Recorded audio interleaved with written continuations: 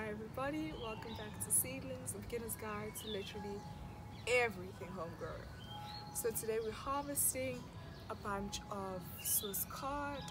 Alright, so follow along, have some fun, leave your comments down below, let's talk about it, let's talk about what your spring harvests are and I'm very eager to see what you have harvesting this spring. Alright, we'll cut it at the very base and allow it to regrow. So there's one leaf over here as you see. These are very normal, not large Swiss chard leaves, but as you can see how beautifully large it has grown.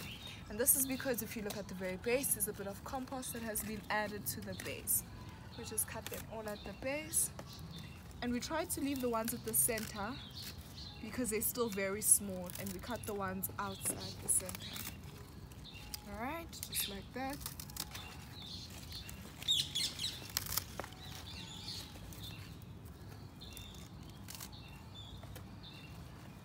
Better or more advisable I've found over the years to grow more than one Swiss chard tree and that ensures you get a better harvest. Planting just one means you get very limited Swiss chard out of your seed.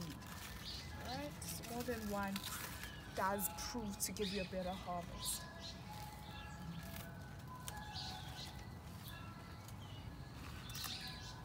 And you can cut as needed of course you don't have to harvest everything all at once. You cut as needed. Okay, I think we can do just one more. All right. As we're harvesting, I would like you to notice what is around. So there's a potato plant over here and these beans do serve very well to these potato plants providing nutrients. Of course helping out the leaves. So the more leaves we have the better our root is at the bottom. It's also planted next to cabbages which does help with getting our cabbage formed very nicely. Of course this has suffered a bit of damage but your beans are planted next to greens that will appreciate the nutrients or the nitrogen that the beans give back to the soil. So let's harvest a bit of beans of course you try to harvest the ones that are a lengthy.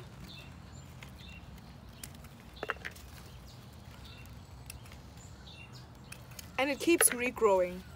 Alright, so the more you harvest, the more you get. That's the key to it. You don't want to keep it on for too long or your beans just become hard and don't taste so good. Okay, so you keep harvesting as it grows.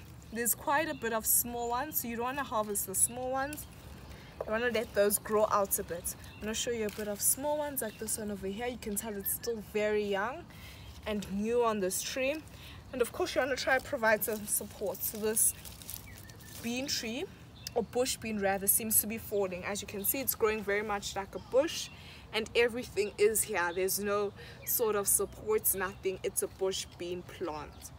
All right. I'm gonna leave that one there. I think we've harvested most of the large ones i think there's one more.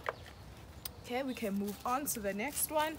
Again just to re-emphasize we've got spinach over here which appreciates the nitrogen that the bush bean plant gives to the to the leafy vegetable our spinach or Swiss chard however you want to put it or say it. I think it's commercially known as Swiss chard. Or spinach there we go. Get our nice long ones in there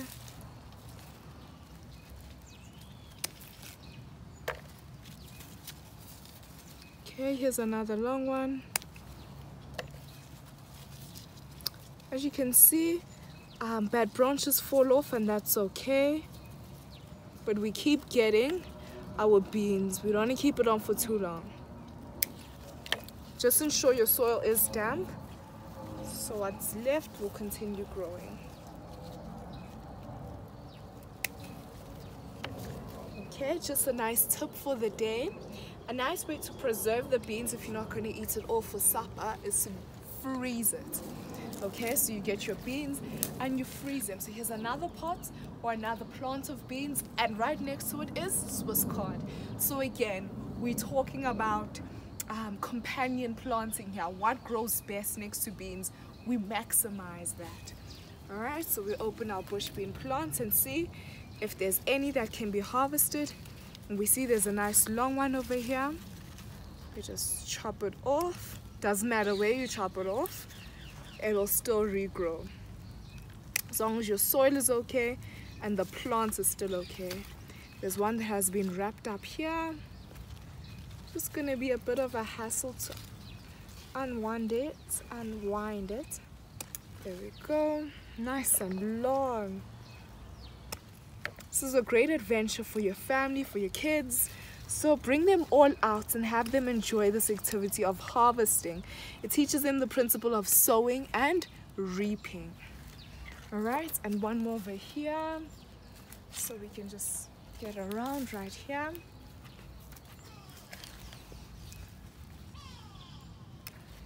There's a nice long one. Second one and lastly okay I think we can get another two more from it. There we go. One more one more. Very nice. All right and before we close it i'm just going to go around to the front to show you another method of companion planting that you can have in your garden.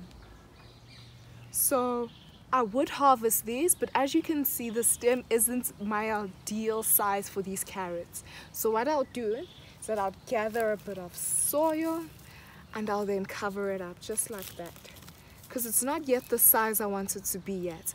Okay, so you can check by removing some soil and seeing is that how big you want it yes or no if it is you can slightly tug it and pull it out but for me that's not my ideal size so I cover it back up again. We check another one. Is this your ideal size for carrots? Yes or no? And for me that's a no. So I'll grab some soil and cover it up.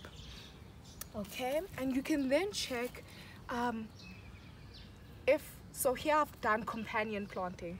Right after so a month after I've planted these I've then planted some onions over here. And the onions will deter any insects or pests that want to eat the carrots. Okay so it's all companion planting here. They're still very young so you might not see it. So there's spring onion over here and there's a bit of herbs towards that side for the smell to deter any pests. Alright so there's basil herbs and there's spring onions here. And right at the back we've got things that don't aren't very fussy such as radish over there and that isn't my ideal size for radish. So I'll grab some soil again and cover it up and let it grow a bit more. Okay? That's all you do for root, root crops. They can stay in the ground for however long you want them in the ground if you're not going to eat them all now. All right let me show you to the front for some more companion planting tips. Alright, back to the front as promised. Okay, here we've got our squash plant. Okay, and a nice key thing is that squash likes to vine out, it likes to spread out. So as you can see, I've let it run across the grass because it will get more space that way. It's already compacted this way, so we've grown it out this way. The squash plants over here, we have redirected it all the way out okay into the grass into the field for it to run wild all right? And i've tried to do like our three system you know our three system rule where we plant corn squash and there's a bit of beans in the middle all around. And this the corn provides shade to our squash. Our squash covers the ground very nicely for our corn so that water doesn't escape very quickly as corn is very reliant on water. And our beans provide very nice nitrogen to both our corn and our um, squash which is heavy feeders. So those three together do work very nicely. Um, beans is at the bottom. It is covered by the quite heavy feeding squash plants. So you might not see it under here but it is under. And there's corn for some shade for our squash plants. So that is a bit of companion planting here. Alright, so there's a bit of other companion planting. So we've got a bit of a small plant over there and the squash and the squashes that will be growing over here in these spaces. Alright, the squashes growing there do provide some shade for any other thing that might be on the ground. Alright. So those are just some ideas as to how you can companion plant in your garden.